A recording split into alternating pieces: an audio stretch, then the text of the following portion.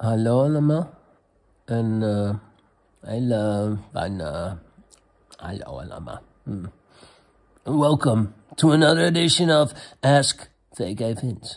Of welkom bij alweer een aflevering van Vraag VK 7 hm. Hallo allemaal. Alweer een week voorbij zeg. Jezus, tering, wat gaat het hard. Hey, ik heb een echt een enorme teringbui vandaag. Eh, en ja, het komt weinig voor, maar vandaag is zover. Dus eh, moet ik weten. En jullie ook. Ik ga gelijk beginnen. Van Lucas. Een hele vriendelijke hallo.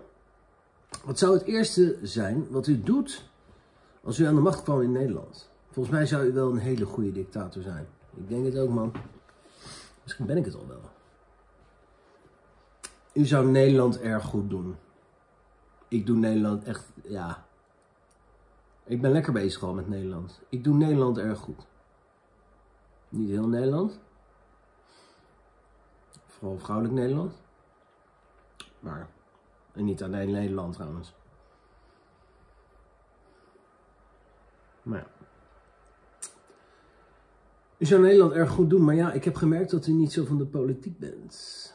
Een ongelooflijk lieve en hartverwarmende hallo, hartverwarmende hallo van mij. Nou, dat vind ik echt hartstikke lief van jou. Jij, jij hebt geroken dat ik vandaag een beetje een kutbui heb. Maar dat geeft niet, Lucas. Jij kan er ook niks aan doen. Wat zou ik doen? Ja, ik zou vertellen dat we, dat, dat we, dat we op weg gaan naar een uh, samenleving uh, waarin uh, mens en natuur hand in hand gaan met elkaar. Een samenleving waar de respect voor de natuur en voor elkaar, voor het leven, het hoogste goed is.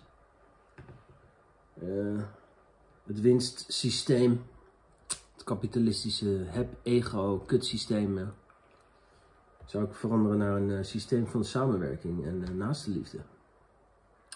En ik zou iedereen laten meebeslissen. Zoveel mogelijk. Voor belangrijke kwesties zou ik zoveel mogelijk uh, raad vragen aan, aan het volk, hè, aan het plebs. Aan jullie. Nee, we zijn allemaal gelijk, we zijn allemaal één. En dat moeten wij weten.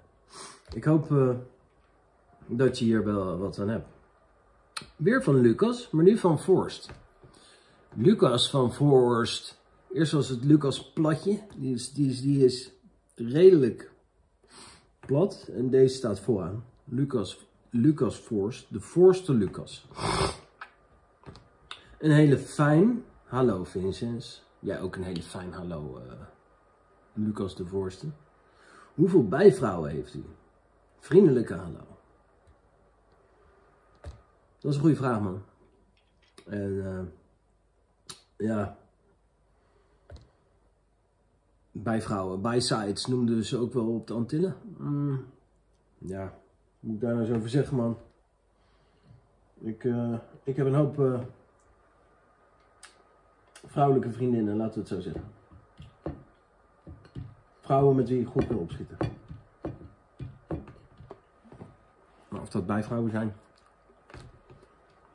Weet je, in de winkel die ik heb, er komt ongeveer 80 à 90 procent wijf. Dus uh, dat is ongeveer, dat is wel een soort van hemel op aarde. Ik was een keer, ik was, toen was ik ook een dag zagrijnig. Toen zat een vriend van mij die zat er. Hij zegt, Vin, waarom, wat, loop je nou, kijk eens om je heen man. Alle, alles, alles soorten vrouwelijkheid zit hier. Wat de fuck man, en jij loopt hier zagrijnig te zijn. Maar goed, dat is niet de antwoord op je vraag. Genoeg. Hallo. Zo.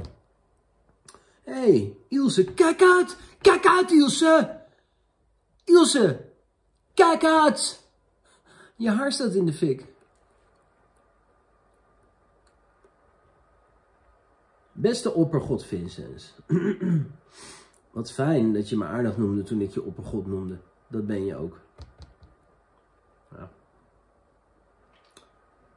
Ja, ik stuur, jij bent ook een oppergod trouwens. Iedereen is God.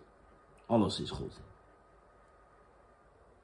Maar wel leuk dat je mij... Uh, ik weet niet. Ik weet niet wat ik ervan moet vinden vandaag. Maar bedankt. Ja, ik stuur weer een mail. Weet je hoe dat komt? Moet jij weten. Ik weet dus niet hoe dat komt. Je mag, moet eerst, eerst zeggen hoe het komt en dan zeg je moet ik weten. Maar ik vind het zo fijn om mijn gevoelens te uiten in een mail. Wat er namelijk is gebeurd in mijn leven is niet normaal. Ik liep over straat mijn eend uit te laten en ik zag ineens een worst. Toen moest ik lachen en ging op mijn bek. Wat een mogol ben jij ze. Toch wil ik een opmerking geven, maken. Je wil een opmerking maken over het mishandelen van Shaki. Verdient hij dit wel? Is hij niet aardig? Of ben je gewoon een staatsmogol? Uh, nou ja, het is een plastic radio eend, weet je wel. Uh, en ik heb hem ge gekidnapt, althans hij is gekidnapt van Martijn. Dus daarom ben ik hem gaan mishandelen. Maar ik mishandel hem eigenlijk niet, want hij is van plastic. Maar hij leeft natuurlijk wel nu bij jullie, in jullie harten. En ja, ik ben ook een staatsmogol. Maar uh, ik vind het leuk om mensen te mishandelen. Maar ik ben meer Martijn aan het mishandelen dan Shaki. Ik vind het gewoon leuk om Martijn te pesten. Dat ik die eend heb en er van alles mee uitvreet. Maar ik ben ook wel eens aardig voor. Maar daar staat de camera meestal niet aan. Denk ik. Ik weet het niet. In ieder geval moet ik erg lachen om je filmpjes. En Nura ook. Nura. Een hele fijne hallo en een hele fijne hallo. PS, als je klaar bent met mijn mailtjes, moet je het zeggen. Dan ga ik er gerust mee door. met vriendelijk hallo, Ilse. Kijk uit, kijk uit, Ilse. Kijk uit. Um, ja. Oh, en het mailtje is virusvrij. Top. Had you. Nee, um, ja, ik ben, ik ben een beetje onzijdig over je filmpjes. Maar als jij gewoon door wil gaan, vind ik het ook goed. Of als je ermee wil stoppen, vind ik het ook prima. Het interesseert me echt geen tegen. Nee, ik kijk altijd uit naar je mailtjes, Ilse. Van Lucas 7. Weer een Lucas, maar het is geen 7, het is Lucas 3. Kankerlul. Oh, sorry. Oh, Sorry Katrien, of hoe heet je ook weer? Patricia? Karin? Ik weet het niet meer. Ik doe het niet meer. Een goede dag, avond, ochtend, Vincent en natuurlijk een hele fijne hallo. Wat leuk dat iedereen een fijne hallo zegt. Ik heb een vraag voor jou en aangezien je mijn voorbeeld bent en je, bent al, en je altijd met je wijsheden mijn vraag goed kan beantwoorden. Als ik later de politiek in zou gaan, welke tips heb je dan voor me om een grote partij te worden? Uh, ja, ik, uh, wat ik net vertelde, ik zou me focussen op een samenleving waar de natuur en de mens hand in hand met elkaar gaan. En een, uh, in plaats van een competitieve, competitieve samenleving, een samenleving van samenwerking en elkaar helpen, compassie. Zo, dat was redelijk snel, heb ik redelijk snel afgehandeld. Godverdomme, wat topper ben ik man, bedankt. Van Nigel N. Van Nigel de... Der Nigel Nederpelt. Ik dacht dat er stond Nigel de Pijgel. Maar dat maken wij er gewoon van. Nigel de Pijgel. Hallo Keizer Vincent en een hele fijne hallo. Jij ook een hele fijne hallo Nigel de Pijgel. Boef. Ten eerste wil ik zeggen dat jij de meest geweldige kwaliteitscontent maakt die de aardbol ooit heeft gezien.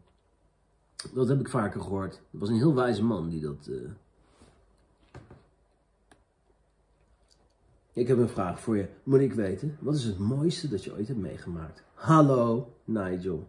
Um, naast het leven zelf en mijn kinderen, uh, Bufo, 5-MeO DMT, het godmolecuul. Man, oh man, oh man, oh man. Um, misschien dat ik daar een medicijnmannetje aan ga wijden. Ja, 5-MeO, de godmolecuul, jeetje, mineetje zeg. Dat heb ik zes keer gedaan, waarvan drie keer uh, goed. Bij de juiste shamaan. En, uh, de eerste keer dat ik het goed deed, zei ik, dat, omschreef ik het als het mooiste wat je ooit hebt meegemaakt. Het beste gevoel wat je ooit hebt gehad. En het lekkerste orgasme wat je ooit hebt gehad. Maar al miljoen, triljoen. Ja, dan ben je er nog niet. Met, met Bufo of 5 MEO DMT dan los je op. Je, je, complete ego dood. Je sterft en je gaat terug naar de bron. En de bron is een onbeschrijfelijke kracht. Pure liefde. Maar niet de liefde die je, die jij kent. Ja, als je verliefd bent. Die, die liefde die je dan voelt, maar dan maar een kiljoen, ziljoen. Fuck. Een kosmisch orgasme. Dus dat. Buffo. Van Henk Bosman, hardcore. Geachte Vincent, om te beginnen wil ik u feliciteren. U bent namelijk opgenomen in de lijst van mijn favoriete kale Hagenezen. Samen met mijn SLD'er en mijn vader. Nou, dat is toevallig. Ik, ik, heb, ik heb zelf ook een lijstje gemaakt van kale favoriete Hagenezen. En daar sta ik bovenaan. Niet dat ik een narcist ben of zo, maar ik vind mezelf wel uh, van alle Hagenezen, van alle kale Hagenezen, vind ik mezelf wel een van de tofste. Nee joh, er zijn een hele hoop leuke kale Hagenezen, maar er zijn ook hele hoop leuke uh, behaarde Hagenezen en er zijn ook hele hoop leuke behaarde mensen en het hoeft niet eens Hagenees te zijn, maar ik ben Scheveneer trouwens. Dat is wel even een verschilletje. Maar dat maakt niet uit. Jij kan er niks aan doen. Moet je aan eten. Hey, dit heeft te maken met het feit dat u enorm informatieve en behulpzame video's maakt. Oh, ik dacht dat ik gewoon, dat je me gewoon aardig vindt. Maar het gaat alleen maar om mijn video's. Beetje jammer, uh, Henk. Ook, uh, ook, heeft u dit te danken aan het feit dat u kaal bent en hagenees bent. Ach, ik was weer te vlug. Hé, hey, Henkie. Henkie, kijk, vingertje. Hier, vingertje. Ik heb gewoon je vingertje. Moet kijken, even je vingertje. Hallo vingertje. Oh, je vingertje. Hallo, uiteraard heb ik ook een vraag. Wat zijn uw favoriete hardcore platen? Als u nog een leuke plaat zoekt, dan raad ik de volgende klassieker aan. Syndicate, Appetite for, Appetite for Destruction. Met vriendelijk goed, Henk. Um, nou jeetje, Demons, de promo remix. Uh, Whispers of a Nameless Fear van Ophinion en Hamunaptra. Hamunaptra. Um, natuurlijk, uh, tech. Uh, True Inner Core van Mega Shira. Van Endymion, Mind and Body as One. Uh, Demon's World. Uh, jeetje. Van Promo. Uh, Down with the King. En uh, die hebben er nog wel een paar klappers. Ja, jezus. Er zijn te veel om op te noemen natuurlijk. Maar vooral de Millennium. Uh, vooral het Millennium. Uh, vond, vond ik fantastisch. Toen zogenaamd de hardcore doodging. Ja, toen bleven alleen de echte artiesten over die de muziek met hun ziel maakten, weet je wel. En alleen het echte publiek over, bleef over die echt hield van de muziek. Ja, dat was een gouden tijd, man. Want ja, muziek maak je met je ziel. En dat is niet met je tong uit je bek kwijlend op een xylofoon staat te hengsten.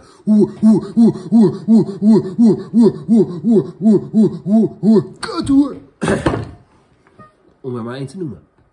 Nee, um, ja, toen bleven de mensen over die echt uh, muziek maakten met hun ziel. muziek moet, moet je met je ziel maken. En niet voor de monies. Dan gaat het naar de kloten. Alles naar de kloten. Alles kapot. Je moet je muil houden. Oké. Van Lucas Platje. Hey. Ik, ik begrijp het even niet. Wat heb ik nou gezegd, Lucas? Eén vraag per week. Dat is de laatste keer, Lucas.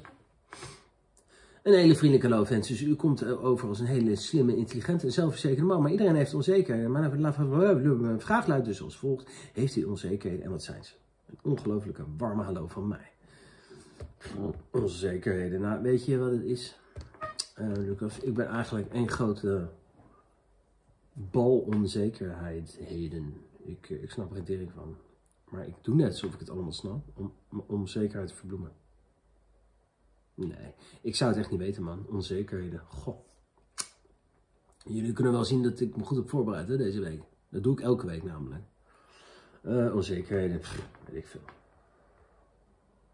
Nou, ik maak me wel eens onzeker over, over mijn penis. Uh, of die wel hard genoeg is. Alvorens ik ga penetreren. Uh, maar dan, dan pak ik een beetje en denk zo. En dan is die onzekerheid zomaar in één keer weg. Ja. Maar goed, moet ik weten. Een, een, een hele fijne hallo allemaal van uh, Liebe. Een hele fijne hallo Vincent. Ik had een vraag aan de YouTube-profeet van de 21ste eeuw.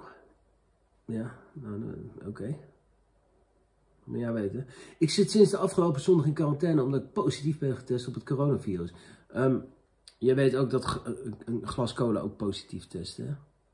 Dus dat zegt helemaal geen ene fucktering, een positieve test. Maar goed.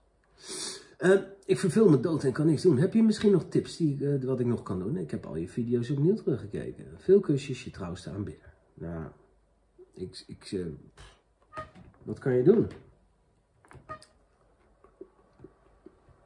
Ga je talenten eh, even uitdiepen of zo? ga filmpjes maken, ga zingen, ga dansen. Ga tekenen, schilderen, liedjes schrijven. Weet ik veel, ga wat doen voor de wereld. Of uh, ga lekker het bos in naar buiten of zo. Weet ik veel. Ik kan dit. Weet je, doe wat met je leven. Maar goed. Hey, en hij heeft een leuk, uh, leuk fotootje erbij gedaan. Van, uh, van een of andere meneer. En er staat erbij: je trouw staan binnen, veel kusjes. En dan gewoon twee homo's die elkaar aanstaren. Oh, ho, Die was voor jullie. hey, leuk hè? Kunnen jullie dit zien? Ik denk het wel hè? Nou ja, kijk maar even. Dat is een meneer en die schijnt dan... Uh... Het is niet aardig om die meneer een homo te noemen. Weet je? Weet je, als jij... Ik, die meneer kan er ook niks aan doen dat hij zich de hele dag aanloopt te stellen. Maar het maakt in principe ook niet uit. Hé, hey, kijk eens wie we daar hebben. Nora. Van Nora. Nora. Nora. Aan de wel edelgeleerde heer vakantie Vincent. En vakantie Vincent is met een S, hè? Vakantie met een S, Vincent met een S. Dat geeft niet, maar als je het doet, doe het dan goed. Oh, wacht, ik heb het een beetje zo. Zo, kijken, zo. Ja. Beetje beter, hè? Beter zo, hè? Vind je beter? Moet ik hem anders weer terugzetten? Ja, je, je doet het zo moeilijk. Nee, oké, maar dan laat ik hem wel gewoon staan. Fucking gezeik. Uh, aan de wel edelgeleerde heer Vincent, vakantie Vincent. Hallo Vincent, hoe gaat het met u met Shaki? Shaki gaat hartstikke goed, is er boven op zolder. Ik ga hem niet pakken, heb ik geen zin in. Naar aanleiding van de vorige vraag, vakantie Vincent, wilde ik een Beirut. Wat de fuck is dat nou weer voor naam? Beirut. Sowieso. Beirut is de hoofdstad van Libanon. Ik weet het verder niet, maar... Hoe, ik weet, heb jij een heel Beirut gevraagd of, of, of, of, of dat zij wilde vertellen dat jullie op vakantie in Lochem zijn? Dat is wel op, VK. Dat is wel apart. Dat ben ik ook geweest vorig jaar. Lochem. Dat is wel leuk. U wilde dit weten, dus moet jij weten. Hey, we zijn nu video's aan het binge-watchen. Moeten wij weten? Ja, dat moeten jullie weten. Kan, ons het nou verrotten wat jullie aan het doen zijn? Maar goed. Oh, oh. Dat ging bijna helemaal mis. Ook wil ik u complimenteren over uw vest in de vorige aflevering. Die was echt heel leuk en die staat u ook goed. Moet, moet jij weten. En ja, en jij ook. Ja, er is weinig wat mij niet goed staat.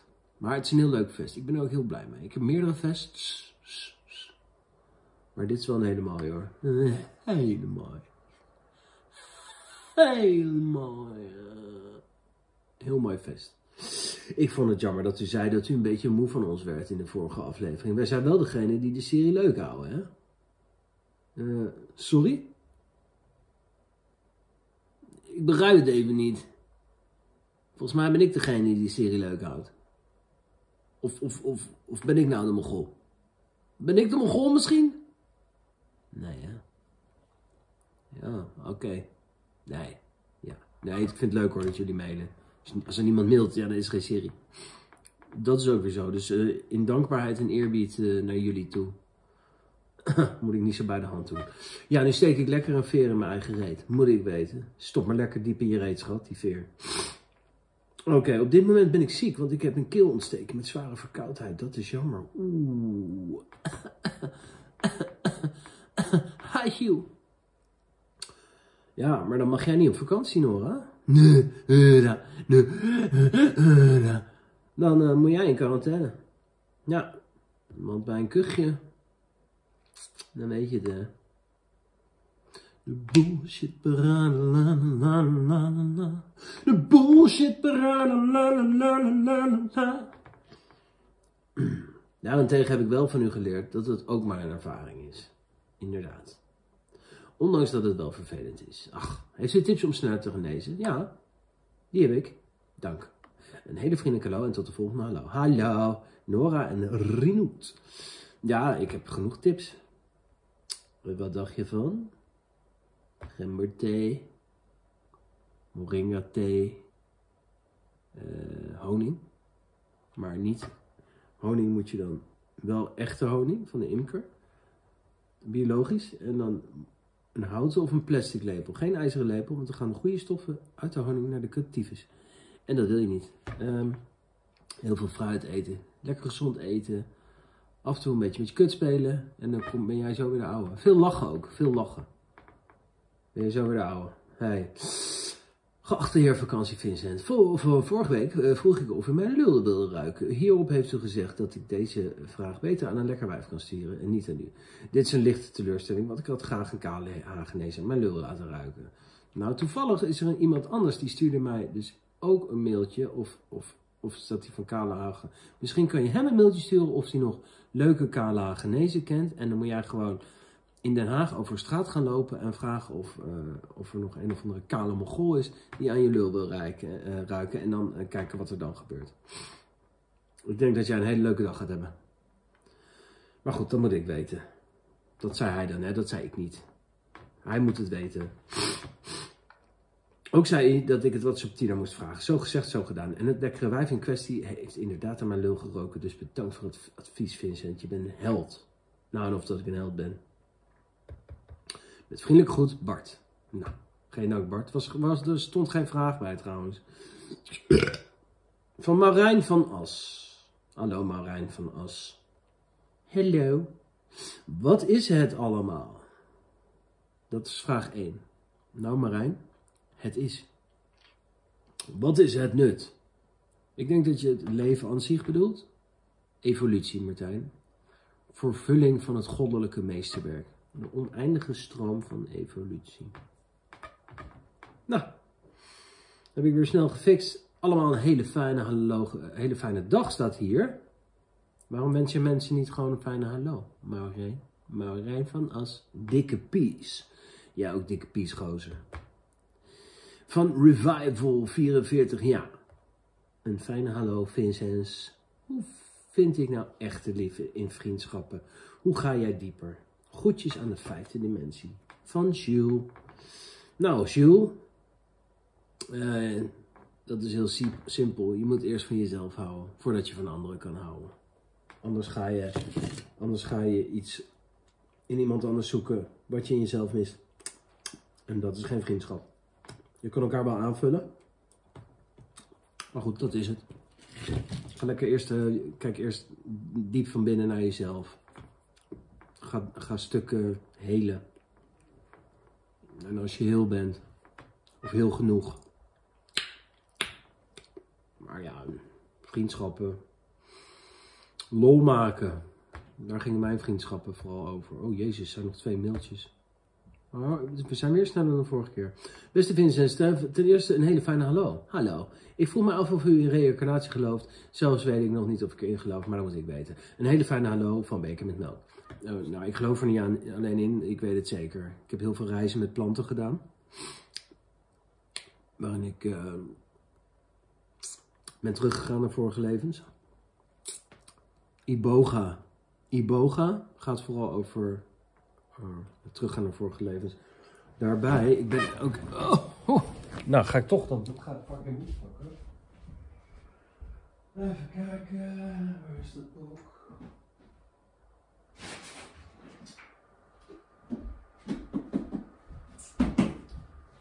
Ik ben nu ook hierin bezig. Het Tibetaanse boek van leven en sterven.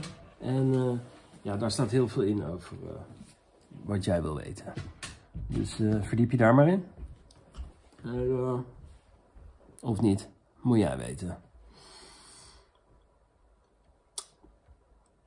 De laatste vraag van Salsa Productions. Hallo vakantievincents en een hele, hele, hele fijne hallo. Ik had een vraag die mij zodanig bezighoudt. Denkt u dat de klimaatverandering echt is? Moet jij lekker weten. PS, u bent een god. Hallo. PS, jij bent ook een god. Dat zijn we allemaal. Klimaatverandering, ja, de klimaatverandering is echt, maar wij hebben daar geen invloed op. Dat zou wel heel arrogant zijn als wij denken dat wij daar invloed op hebben. Moeder aarde regelt het zelf wel. Nou, de ecologische crisis, dat is wel een feit natuurlijk. Maar goed, ook dat komt goed. Ook als het niet goed komt. Hallo. Nou, dat was er weer. 25 minuten. Uh, heb je wat uh, interessante vragen, dan, uh, dan, hoor ik het graag. Ik weet niet of ik, of ik zin heb om volgende week een aflevering te maken, maar dat zien we dan weer. een hele fijne hallo allemaal en een hele fijne hallo allemaal. Hallo.